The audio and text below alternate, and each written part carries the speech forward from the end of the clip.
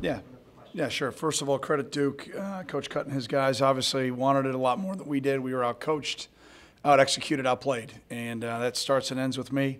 We had ample opportunities to uh, to win one on ones, and I and I think we may have been over offensively. Uh, when I look, you know, I, I stopped charting, but now that I see it, it, it's exactly what I thought it was. We're one of ten on third down. We got them to third down 22 times, and you know we, we were successful seven times. Uh, you know that, that's not good enough, and so obviously not playing good team football, you put yourself at a huge disadvantage when your defense is out on the field for 42 minutes. Again, part of that was on our defense, but uh, turnovers, losing one-on-ones offensively. But credit Duke, they did a great job, and uh, we got a lot of work to do, and we'll get uh, right on that once we get back to Chicago. So, I want some questions, please. Uh, you guys rotated a lot of guys up front, even early. Is that more trying to keep guys fresh, or is that more performance based? Which side of the ball? I'm sorry. Uh, offensive line. Oh, it's uh, performance. You know, we've got again. I think I've said it now for about a month or so ish. Um, when there's a clear guy who's head and shoulders starter, Tommy Doles, Brad North, uh, you know they play. And and then when we've got other guys that um, have not seized the job, we're going to have to rotate them. And um, you know we've just obviously got to keep doing a better job coaching.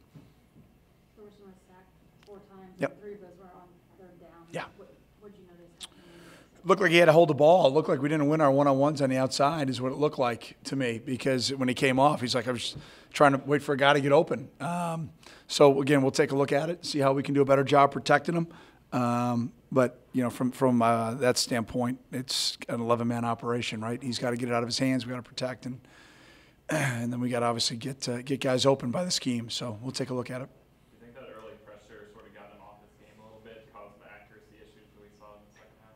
No, I don't. I don't. I don't think so. Um, uh, no, I really don't. I, I think uh, you're talking about maybe the throw to the, the interception. That wasn't his fault.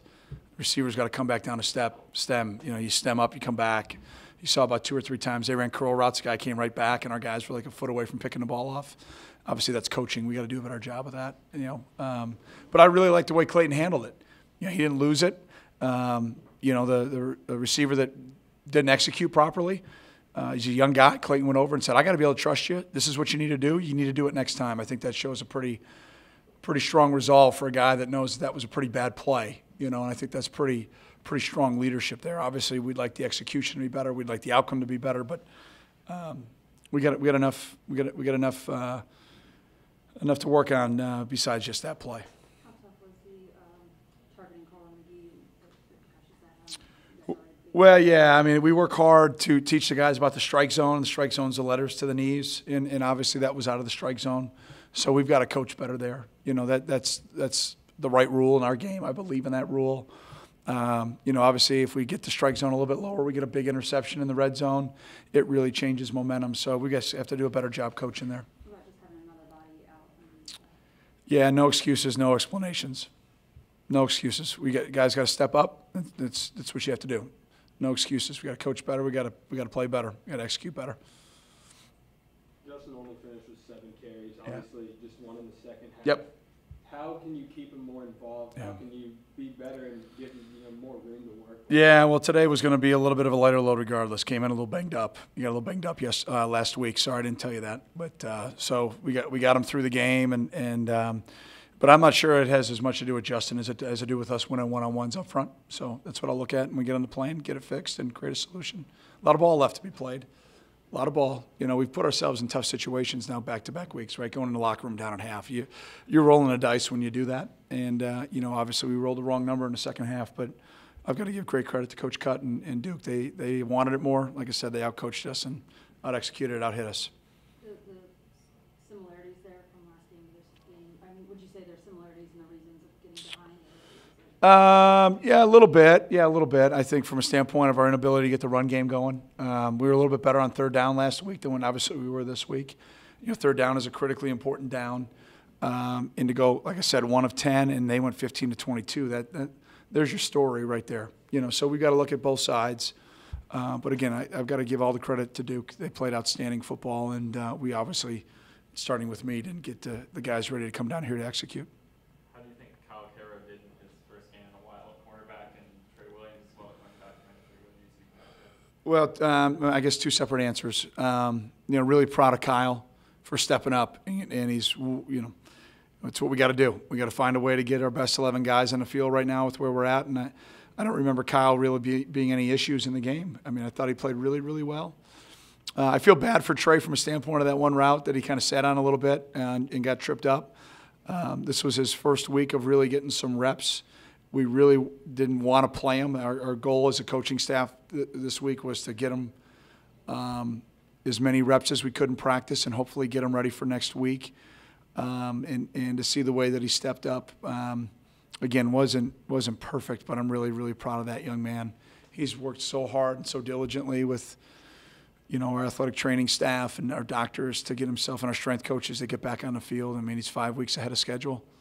You know, really proud of that young man. So he'll be better next week, without a doubt. Uh, what are your thoughts on the pass rush today, and how can you guys generate more pressure when it's tough to commit more numbers there when you're a little banged up in the secondary? Well, a lot of RPOs, you know, a lot of run pass options, and and um, uh, we were pretty good on them early, and then we kind of backed off a little bit. I think from maybe some confidence that you know guys maybe being out there for the first time, um, and then when we got a little bit aggressive, it, it seemed like it worked out a little bit more. So came down here with a plan to be on the attack, uh, to be as aggressive as we could, and you know I think again our inability on third down offensively to sustain anything from a standpoint of momentum, uh, and then the turnovers. Uh, you know, really, really hurt you. We had, we had the ball on the ground two other times that we didn't get from them, um, which which could have been key too. Who are you looking for up front to help the younger guys? You've got two, you know, two freshmen and a re- even redshirt freshman playing on the edge. Well, I think it's on us as coaches first and foremost. I think we've got to coach that group to be more more uh, consistent. Uh, fundamentally, we've got to execute obviously better.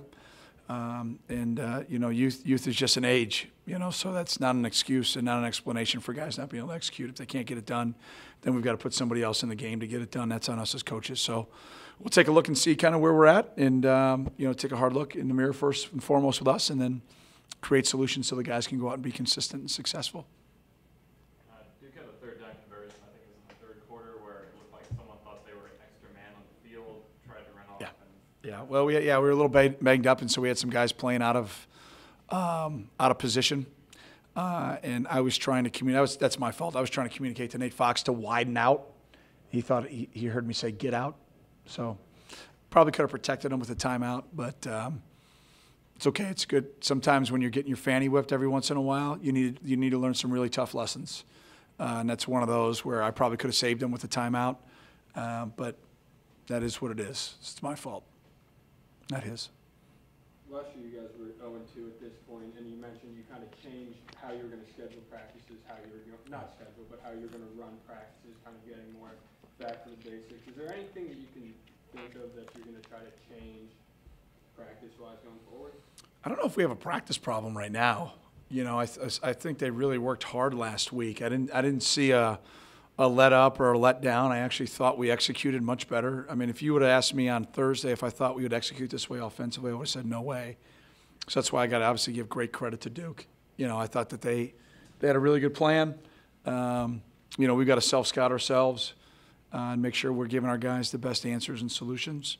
And then, um, you know, of course, I'm going to make changes because when you when you perform as we have in the first half and been outscored now by 21 points going in at halftime in two games, you can't put yourself in that situation and be consistent. So I'll take a look at a bunch of things from that standpoint. But again, I, I- can't look at practice last week and say, wow, I, I expected us to give up 41, only get 17, be one of 10 on third down, turn the ball. I'm, you know, that's, that's probably what's most disappointing is our, our inability to get our guys as coaches to consistently execute today. You guys seem to have a little bit of momentum there. End of the first half, you Yeah. got that touchdown. Oh, yeah. And you're able to get the sack fumble, Yep. the punt, and then the interception. Yep. Did you feel like that took something out of your sails a little bit, or could you sense that at all? No, you know, I think, do we have a couple of third down situations there defensively, I think, to get off the field in that drive, and we didn't. And I think that was one of their longer drives, maybe 10 plus plays. You know, and, and obviously, again, I, I got to give all the credit in the world to Duke. They, they were the ones that executed. They were the ones that were coached well and, and, and out, uh, out physical us. So um, I think that was obviously a, an opportunity to seize momentum, right? um, we, we got the big stop, and, and now here we go with a chance to um, get momentum really back on our side, and we obviously weren't able to do that. So credit Duke.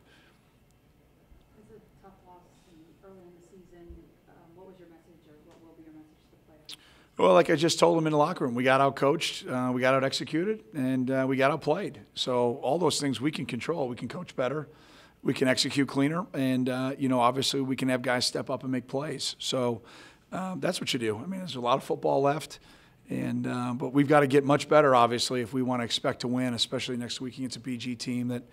You know, in my snapshot from them last year studying them, I was really impressed how they got better each week and I thought they played really well against Michigan State in the opener. So we're going to have our hands full next week at home. It'll be it'll be great to get the freshmen in the building. It'll be fun. Bennett had a big game last week, and then he was really limited today. Did you notice Duke keying on him at all? And so, how can you kind of overcome Yeah, that? I, yeah. I, I don't think they keyed on him. I think they played man free. There was no keying. There was no doubles. I think they lined up in an under front and played man free, and we lost a lot of one on ones. It doesn't ask you a question about Bennett, uh, but that's what it looked like from my vantage point. Uh, and then, um, you know, we, we obviously didn't throw. I mean, we're 11 for 29 for 120. You know, we're not executing clean enough. Um, you know, with, without a doubt. You know, but Hunter was great. Right. I mean, there's that was that was That was outs- good. yeah. And then the long return, we give up. We have what five or six missed tackles, and that's probably the other disappointing thing to me about our defense. I mean, our guys are really. I thought they were giving good effort, but we overran the ball. Our angles, our open field tackling today was as bad as I've seen. I think it's a byproduct again of Duke's young men making really good moves, uh, and then us pressing a little bit to try to make plays when we were down a couple scores. So, got to get back to basics there fundamentally and tackling the open field better. Again, that's a you know practice question. You know, first 12 minutes of every defensive practice we tackle. So, uh, we've just got to get the guys to execute cleaner. Okay, thanks, Coach. All right, thank you guys. Travel home safe. Thanks a lot. Go Cats. Yeah, thanks.